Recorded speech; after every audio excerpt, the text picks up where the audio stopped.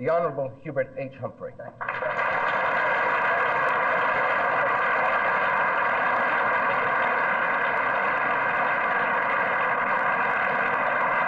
is the only nation on the face of the earth that is modern and industrialized that has no planning.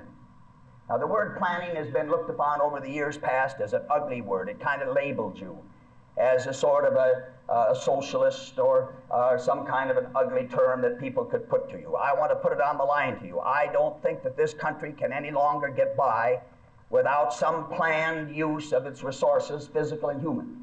I think it has to have goals, defined goals. I think it has to have priorities, and I think we have to argue it out until we come to an understanding of those priorities. I think it has to make commitments. It has to set benchmarks, datelines.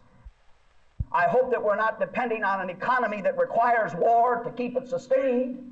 I hope that we can understand that you can take an aerospace scientist that can build a space satellite or a bomber or a fuselage for a civilian or military plane and have that same person build for mass transit, for subways, or even housing. The same structural features, the same engineering principles are there. These men are needed all over America, these men and women. But we had a government with no conversion policy, and we satisfy ourselves with the emotionalism that this is a price we have to pay for reduction of military, not on your life. As we reduce the power of the military and its application, we must accentuate the power of the civilian economy and its application. And this is what I mean by a national growth policy. Now, I'm not just talking in generalities, I'm introducing legislation which you hopefully will read about that will direct this government to a national growth policy, that will set up the proper machinery for the coordination, that will see to it that the federal government itself doesn't distort growth as it does today.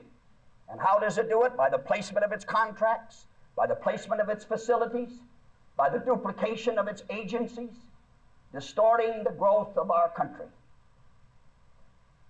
30 million Americans in 25 years left rural America to go to urban America. If you want to know what's wrong with your cities, that's where you start.